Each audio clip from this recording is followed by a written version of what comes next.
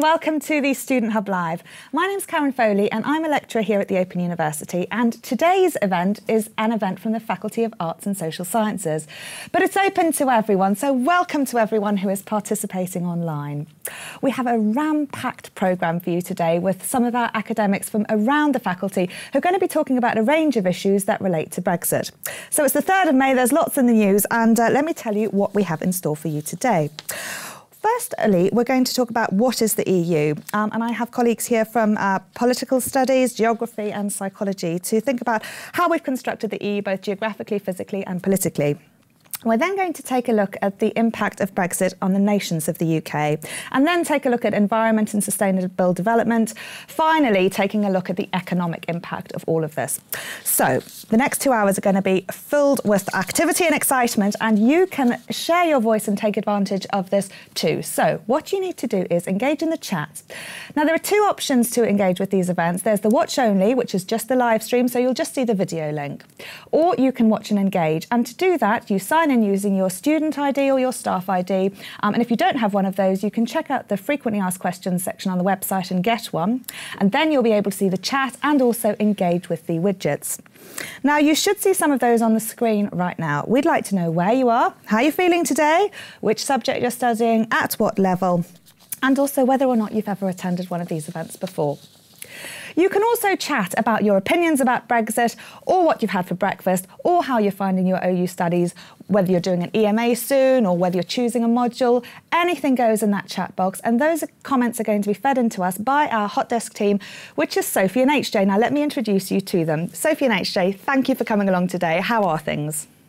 Morning. Yes, all good here. Uh, it's really nice to see some regulars and some newbies in the chat. So fingers crossed um, it'll be a nice little, uh, nice little session, I think. Yes, and I think we're just excited and ready to go. We're um, some people are procrastinating from assignments, but I think we could just get away with calling this research. Oh, definitely. Yes. And you are up early. We've got you up. We've got you ready for the day. I yes. think. So it's good. It'll be good preparation overall. But uh, yeah, any thoughts, comments, or questions for the studio? Just let us know, and uh, yeah, we'll put them to our panelists. We're very excited today. Now, this event is live and interactive, but the catch up will be available shortly afterwards. If you aren't in the Watch and Engage, you can also share your views um, by uh, tweeting, and the hashtag is StudentHubLive17, um, or you can email us at studenthub um, at open.ac.uk. So please do that. Now the chat can move quite quickly and there are a few options to engage with that. You can change the view at the bottom right hand side of the screen. You'll see some different options for the layout. So choose the one that suits you best, whether you want the screen or the chat larger. And there's also a little pin button at the top of the chat. So if things are moving fast and you want to follow up on something someone said, you can just select the pin and then scroll down and engage with it in that way. But whatever goes, just enjoy it um, and participate. So let's move on to our first session. I'm delighted to welcome Richard Heffernan back, um, Alan Cochrane and Volker Patent. This session is about what is the EU, which is a very, very big question. And I think what's interesting about this conversation is that obviously from a political perspective, Richard, you'll be able to fill us in in terms of recent updates, etc. Um, but also Volker adding a psychological perspective and Alan a more geographical one in terms of boundaries. So Richard, can you fill us in then um, in terms of, of, where things are at right now? So, the role of the EU, we've got some widgets up there that we'd like people to vote on, things around making us more British, um, member states joining the EU in the first place. Um, very interesting question you've posed here. If the EU didn't already exist, would we invent it today? And is today's EU fit for purpose? So, you'll see those widgets coming up on the screen. Please do vote and we'll feed those into the chat. So, Richard, kick us off then, the EU then, can you fill us in? I mean, the last 60 years in terms of the widening and deepening um, aspect and, and, you know, thinking about what is the EU, how much of it is a union and how much of it is a political? Oh, well, it's hard to fit 60 years of history into 60 minutes of conversation. And uh, as people know following the news, that uh, the EU is a movable feast. Presently, as it exists today, it is an international organisation of 28 member states, one of which remains the United Kingdom, which is determined to leave and is in the process of negotiating its exit.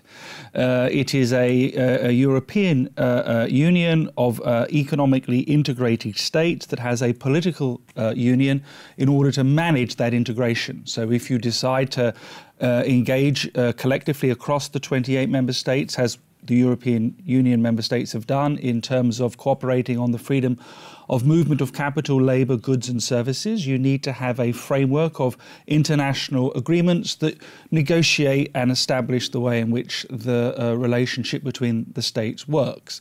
So it is a European association that helps govern the states that are members. Most member states have joined at various times, began as six uh, contracting members who formed a coal and steel community in the early 1950s. That then became the European Economic Community in 1958.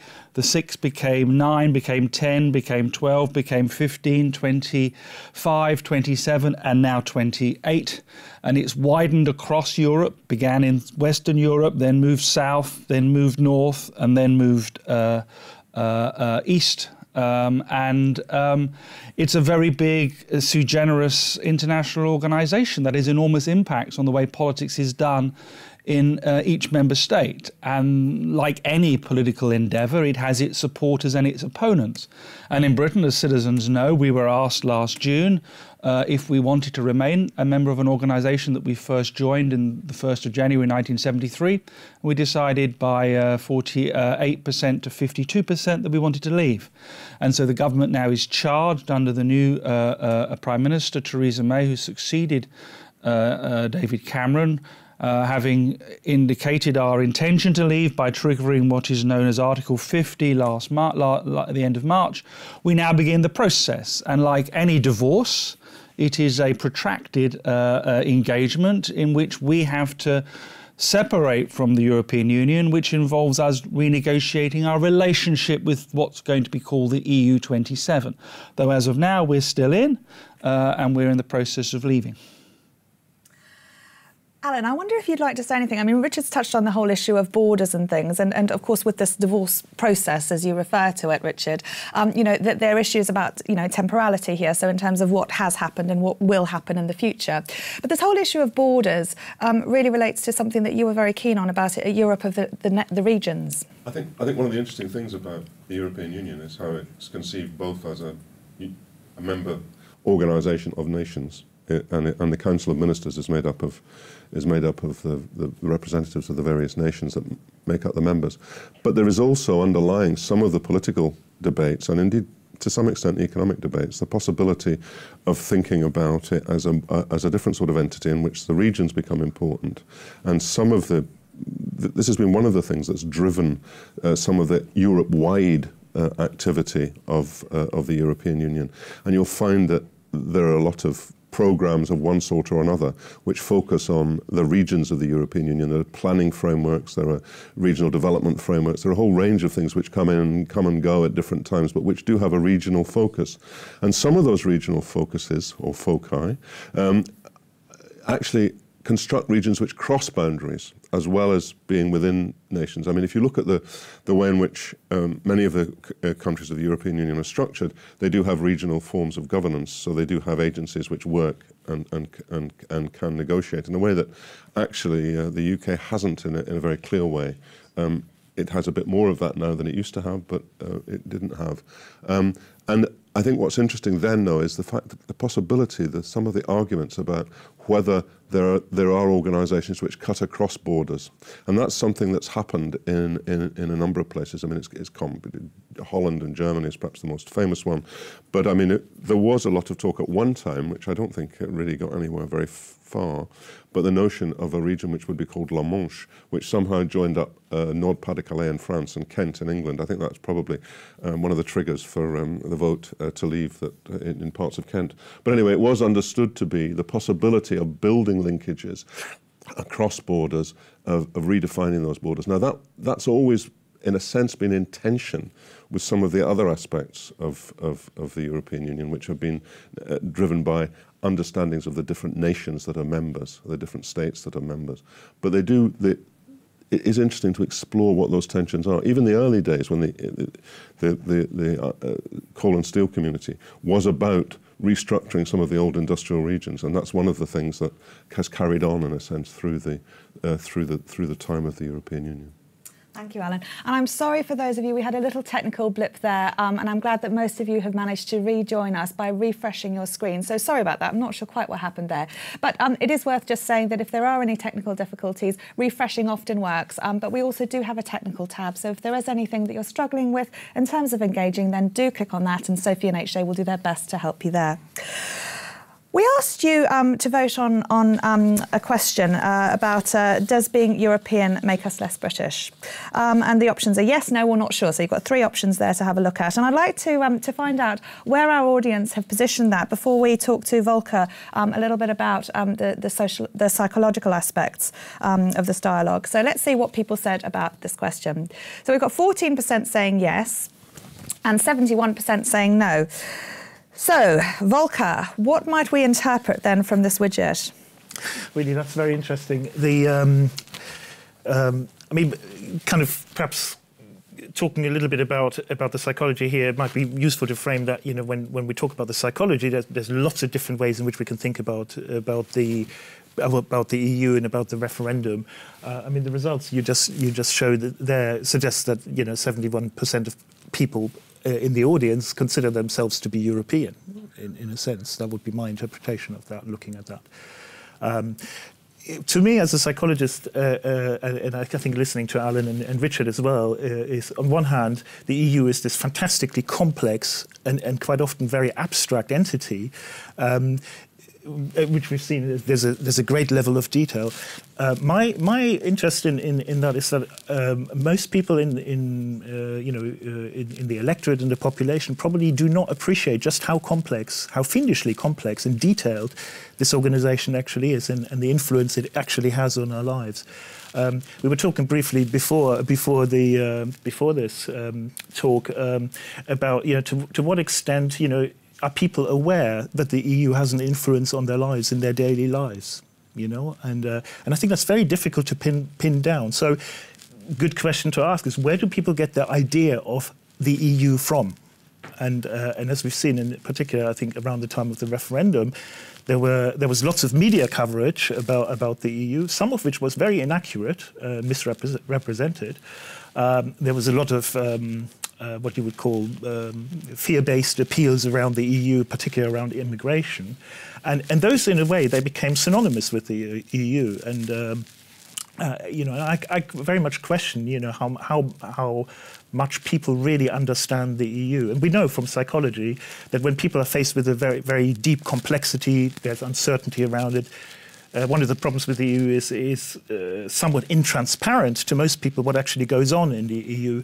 And, and these kind of things, they require people to simplify, psychologically and cognitively simplify what they what they perceive the EU to be, and and and as a result of that simplification, lots of detail is lost. Uh, we know uh, also that uh, once people have formed a view of, of an entity like the EU, uh, any other information that they get may, may be discarded if it does not um, correspond to their initial view. Uh, so we know there are some cognitive biases that influence people's understanding of, of, of complex situations. And, and what's interesting, particularly in, in relation to the referendum, uh, and, and looking more in more detail at the referendum campaigns and how uh, the EU was branded both by the Remain campaign and by the Leave campaign. They're very different brand messages around that, and, and how people um, uh, accept or endorse those kind of messages is really important in terms of how people form their opinions um, and, and, and ultimately, um, I suspect, you know, influencing their, their decision to vote one way or the other. So, what might there be in terms of more reliable options to gauge then how people interpret some of these things? Well, that's a really interesting question as well, because uh, I mean, one of, one of the one of my thoughts about the, the way in which the campaign was uh, was was led was was a question about the, the, the political standards, the minimum standard that we should expect of political campaigns, and and of course, uh, you, you, know, I mean, to some extent, there's a sort of idea that you know all politics is lies. To some extent. Uh, I think that's a kind of perception of politics. Politicians often lie, uh, but but in terms of I think particular the kind of you know the fear-based arguments around particular you know around immigration and misrepresentation of, of, of statistical facts. So in terms of you know Swedish rape statistics or, uh, or, you know immigrants coming into the country and what it would mean for you know uh, and and and, and the way in which these kind of ideas were being connected uh, together, you know, raised some questions about the kind of standards of campaigning uh, that we should expect. And of course, the other thing, uh, a really good example of this is the, the claim about the 350 million per week uh, extra that the NHS could be paid. And I mean, that was exposed as a, as a, as a, as a fabrication back in, I think it was February, January or February before the referendum.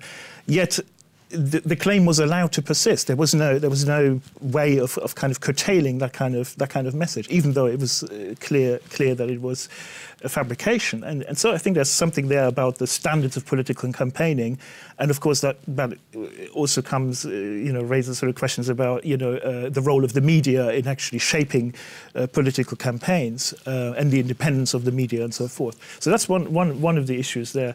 I think there's another potential um, issue really in terms of the, the political education of, uh, of, of, of, the British public. You know, how much do people actually really understand politics other than through the sound bites or the kind of uh, the game playing that goes on, you know, Prime Minister's question time and so forth? Because those are the kind of images of politics that people see. And um, and I think, uh, and then finally, I think there's this issue around, uh, you know, austerity and, and, the impact of austerity on on people's lives. Um, um, you know, people people were angry, and, and uh, some some of the work that some of my colleagues are doing around trust is we know that there are some really angry distrust distrusters, you know, people who are angry because of what's happened to them economically and, and socially, uh, who have a very deep distrust of, of the of the establishment and and and and I suppose in terms of understanding why we had a Leave outcome was that the uh, the Leave campaign, uh, in a way, connected with with, with those kind of angry uh,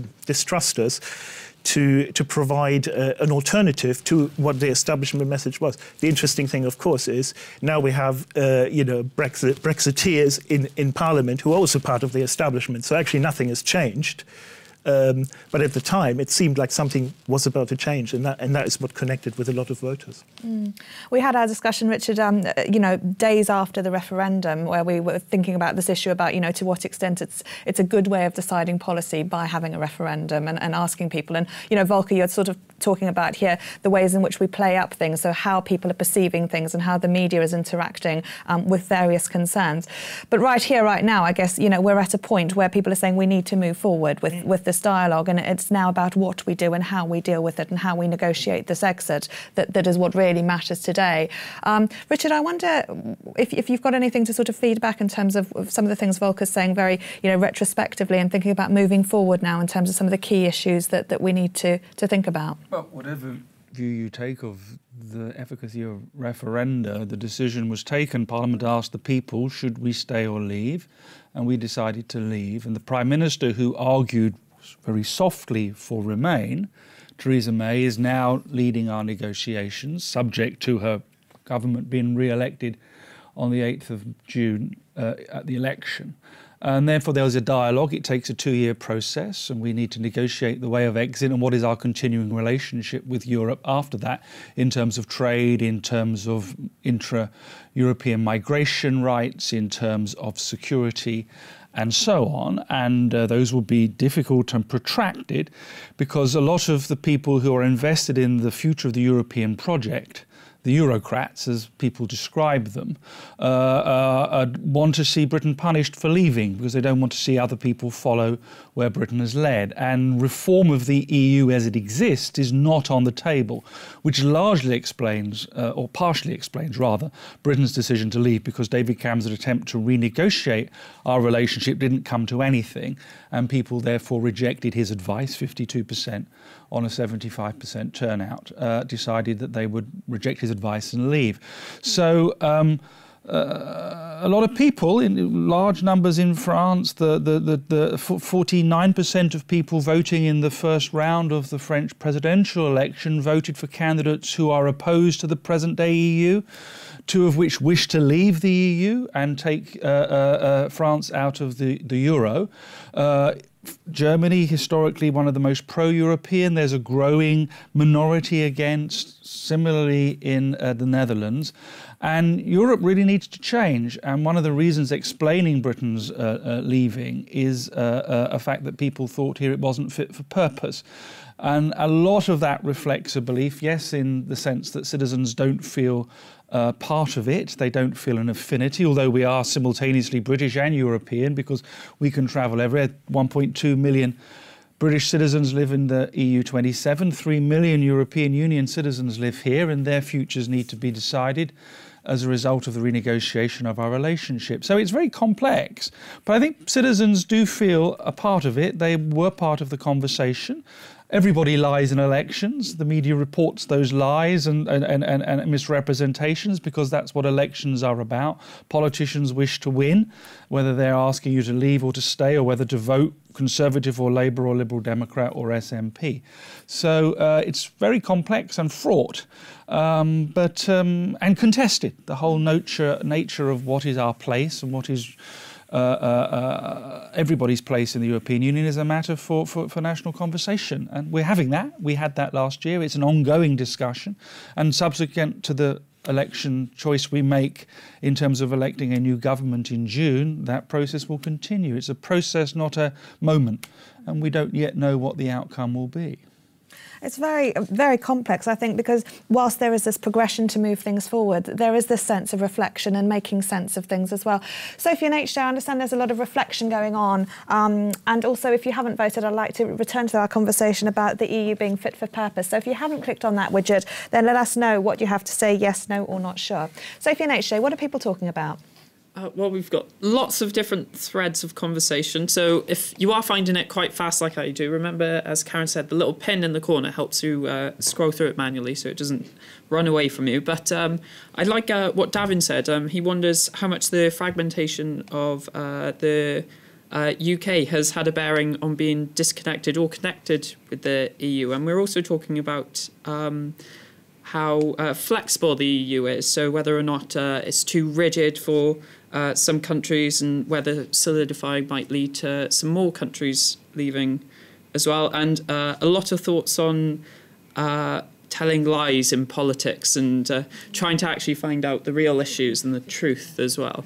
There's a lot of distrust actually. Um, Alex and made a good point that kind of sums up what I think as well. Um, I get the impression that politics are for personal or party gain and not for the greater good of the people or the country. And uh, I, I, do sort of agree. I, I, think I'm very sceptical now of of any political agenda in in general. You know, so uh, I think there's a lot of that going on in the chat as well, which is uh, it's nice to see I'm not the only one. it might be interesting to think about the Leave vote as well in the context of voting for less politics as well. If people are not. Yeah. Uh, trusting of politicians. I'm not sure what we think about that, but yeah, lots of great chat going on here. It's harder to say no than yes sometimes, and change is in itself difficult. Often we want to hold on to nurse for fear of something worse. So if you are voting for change, it's because you're genuinely unhappy with the status quo. If you're happy, you don't change. So um, I think most people agree that the EU, is, as it presently exists, is not fit for purpose. I imagine if David Cameron had tried to save his political career by asking a question before renegotiation do you support the present day EU or like it be reformed? He'd have had a large mandate to go and renegotiate our terms, which he didn't have and wasn't able to get. Well, uh, Richard, our audience, let's see what the results are for um, our question Is the EU fit for purpose? Because our audience are saying that they do think that it is largely fit for purpose. So 45% are saying yes, they do. We also asked them why do members join the EU in the first place, and this really is about um, you know to whom it is benefiting. Um, now let's see if we've got the results for that, because when we looked last, we were um, talking about benefiting themselves primarily. Um, so we'll see if we can pull that up in one second. 61% are saying to benefit themselves, um, whereas seven, sorry, 6% are to benefit um, Europe, and then uh, the remainder are talking about benefit to both. So clearly there's something about joining something to benefit one's own country, but equally arguing that the EU is fit for purpose, is, is what our audience is saying. Are those compatible views? Well, the, the second one is indicative of British public opinion generally that we join to advantage ourselves but also to help our European friends and neighbours because they are still friends and neighbours even when we leave if we do. Uh, in terms of fit for purpose, the, the, data is slightly different to, to citizens. I mean, the more educated you are, folks, the more likely you are to be pro European.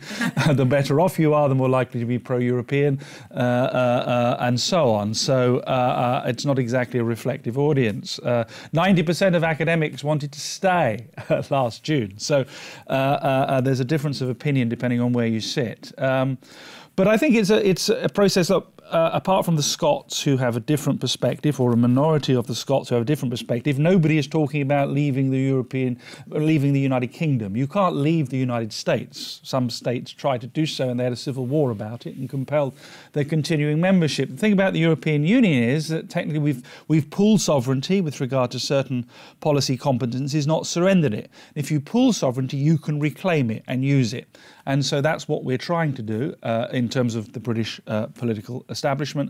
Uh, uh where we lead, others may follow. Uh, Europe may, may reform itself. The Eurozone may collapse. It's unstable, but we don't know. Mm. Can I just say, uh, first of all, I want to say something about, about politics and why it might matter. And I'm, I'm slightly worried about the cynicism that exists about politics, that everybody's in it for themselves. Of course they are. I mean, of course we all are. I mean, who isn't? I mean, I'm not in it for somebody else. But the, but the point is that the advantage of politics is that you get choices, that people mobilise, that you do get the sorts of debates that might that might happen. And I think actually party politics is quite important in that sense because that's how you mobilise collectively to put different options, to, to raise different questions, to generate the sort of debate. If you didn't, I mean, it's interesting just to step back and say, well, what if you didn't have that? What if it wasn't like that? What if you didn't have these self interested people making points about what they wanted to do and what they wanted to see? I think then you'd see a, a system that would be that would be much less attractive. And I think it's actually quite important to recognise the importance of allowing of, of, of being part of, of taking advantage of the fact that you've got people putting different sorts of positions. That doesn't mean you agree with them. That doesn't mean you want to go along with them. And it the question of whether people are lying or not is an interesting one because uh, every. I mean, politics is about trying to put a position across, and I think in the in the referendum debate there were lies on both sides, if you want to call them lies, and that you know that's that's something that needs to be needs to be remembered. But I think there are some there are some fundamental issues being debated which. I, you know, I took a particular view. I think I was probably one of the 90%. But I mean, I think the, the, the, the important point the important point to me is to actually look at some of the tensions that existed. And, and Richard's talked about some of those, but I think there were others as well. I mean, if you look at the way in which the vote actually played out um, geographically across across the UK and across England and Wales, as well as between uh, between England and the rest of the other countries of the of, of, of, of, the UK, I think is very is very interesting because what it suggests is that actually there were clusters of places where people did see themselves as being advantaged, of having advantages for being in the relationship. So London had a very high vote to remain. And that, that's a mix of different sorts of interests. I mean, some of which, one, some people have argued that London has London parts of London benefited because that was the way the debate was always constructed through London. London was the place that was benefiting, the, the, the city in particular, and that constructed a sort of bubble in which no other ideas were allowed to be discussed. That's one of the things that's been argued quite strongly. But you also have in London, you have a whole different sort of population, which is not just those elites, but a range of other people who are, see themselves as benefiting from having been connected into the European networks. If you look at some of the other regions of the UK and nations of the UK, you find different sorts of engagement. I think actually one of the things that the European Union, or the, certainly in its in its economic phases earlier, in terms of supporting particular forms of restructuring of industry, particularly the old coal and steel and so on community, but then also went into the EEC and so on, was also part of reshaping those regions, actually restructuring those regions and effectively reducing um, the economic strength of those regions because there was there were issues about concentration, issues about rethinking what sort of industries were possible, and that actually did disadvantage some of the people living in those regions. And it's not surprising, therefore, that some of those people uh, thought that actually the European Union wasn't its friend, wasn't their friend. So I think it, it's interesting to think through the logic of, of some of the debates and to think through not just in terms of you know the immediate present, but actually to think through what it might mean about where the UK is going in the longer term as well, in or out of the UK. What does it mean? I mean, is, this, is, is leaving the European Union going to resolve the question of the role of the City of London in the policy making of, of where the UK goes? Does leaving the UK mean that there will be uh, tensions within the nations of the UK. What does it mean for the regions of England, which, which are not part of London and the South East, those other regions? What does it mean it seems to me that the vote shows up some of those things, but so does the debate that we're engaged in now. What will happen next is really is really important. That's a fantastic point, and I'd like to end by just asking your two perspective on this because our next session um, is about uh, the impact of this on the regions. So it's a lovely way to lead into that. And I know there's plenty more to talk about. But Volker and Richard, is there anything you'd like to say about Alan's points about how how, how this might impact and, and actually what's going on in the UK in terms of the ideas that matter to people in terms of how they vote and, and perhaps also the the impact of government on those? Okay, I mean, just a point that uh, that I uh, that made me think about, uh, you know, in the immediate aftermath of the referendum, it was kind of interesting some of the stories that were coming out about some of some of the regions uh, when you know kind of were uh, confused about uh, the continuance of EU funding to, to those particular regions. So, you know, as soon as it started to emerge that EU funding would be discontinued, there was all of a sudden a kind of almost like a waking up to the reality of what what uh, what Brexit would actually mean to funding. Um, I think it's interesting, you know, the rural areas, particular, who receive a great deal of the farming subsidies that the EU pays, uh, were mostly voting, voting, voting to leave. So it's kind of interesting again about you know, because we, we assume that people vote because of the economy. You know, that's it's the economy stupid is, is a kind of very, very uh, clear sort of. Um, uh, you know, slogan that's kind of used to, to, to, to characterize that. And but actually, what seems to have happened is that people voted in a way that's actually not in their economic interest because. I suppose we'll have to see what the process ultimately entails and, and what the government response is and, and whether or not you know EU subsidies to farming will be replaced or EU subsidies to, to, to, to, to science uh, is another example. You know, whether these will actually be replaced or whether there will actually be massive cuts in the amount of funding that is, is received by those regions. So actually, you know, just to extend the point, I agree with everything you said, uh, uh, and I've learned something new as well from, from, from what you said as well. But but it's the question about you know that on one hand, you know, we know that it's austerity overall and and, and, and cuts and, and so on have certainly contributed to the perception of the EU as the kind of cause of a lot of this this you know that was a kind of one of the kind of narratives that was um, you know um, avail- you know was was there the referendum. But you know what's interesting now to see is what will happen once Britain has left the EU you know and uh, the replacement of the of the funding that uh, that that regions were receiving is no longer there and, it'd be very interesting then to to see whether that might actually cause there to be a, a kind of a, a, a, pro pro return to the EU backlash uh, in in the aftermath of of Brexit.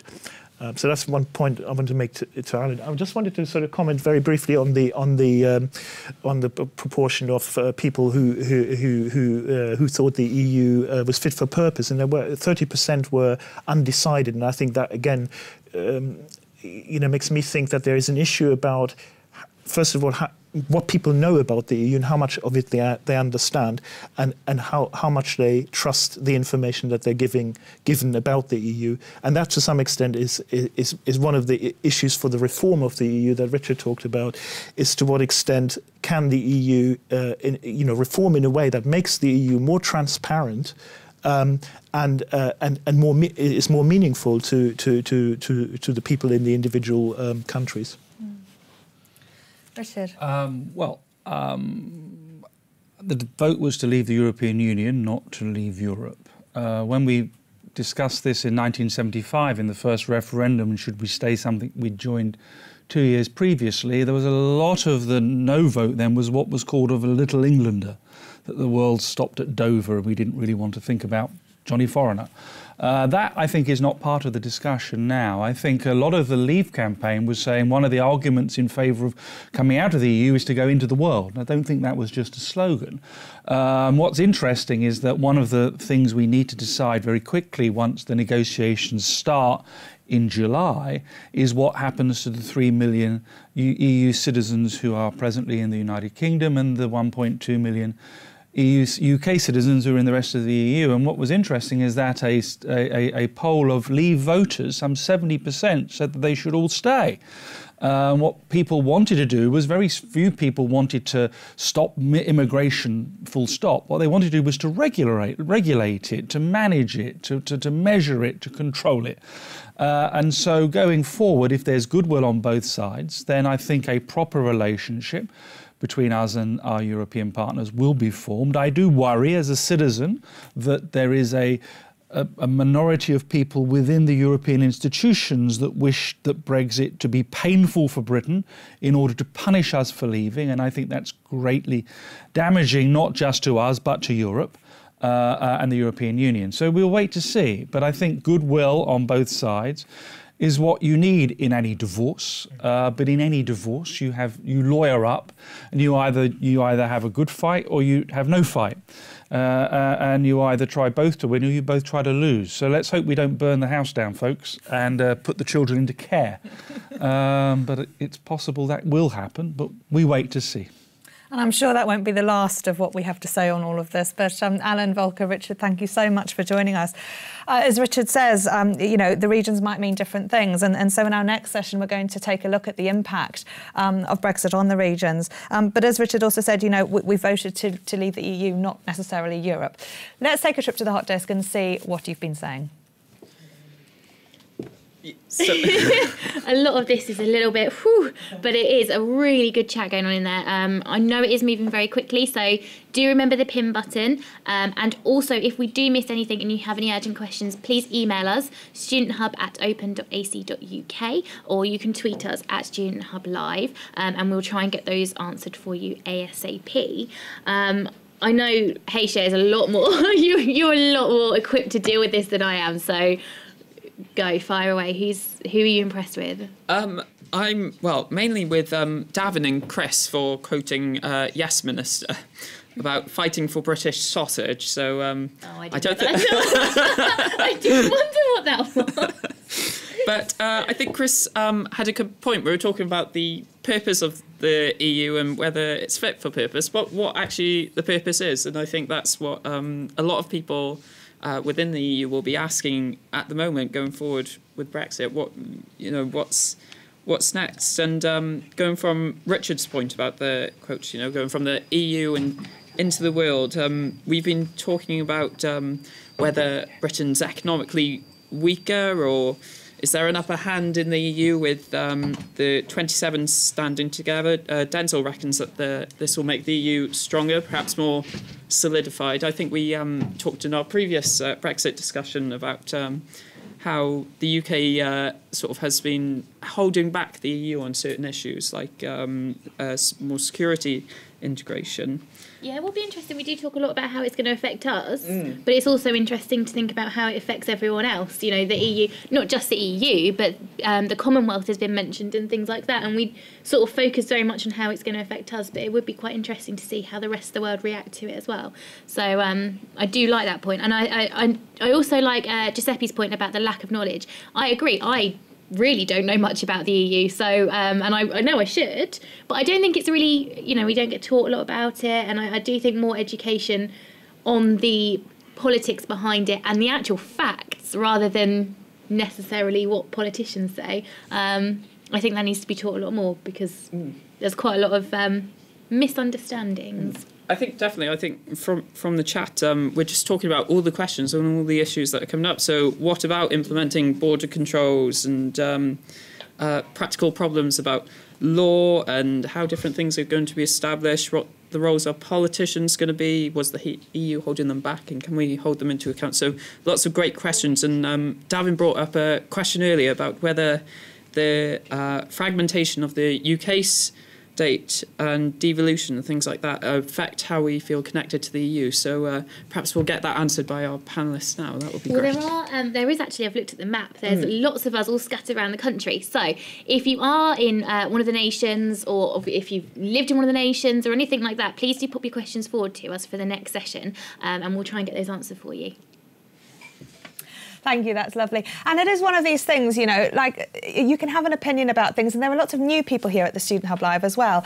Um, so, you know, you can talk about whatever you want. And as Sophie was saying, you know, you don't necessarily have to have an educated opinion. Half of the enjoyment about being at these events is actually learning something and being able to say things out loud and, and talk to other people who are studying um, and also academics I know who are in the chat today about some of those things that matter. So if you are new to the Student Hub and you think, oh, a lot of this is very highbrow or very sensible, please put your comments in the chat and, and, say what you think because as we were saying beforehand this can relate to us at a very personal level as well as an academic and institutional one also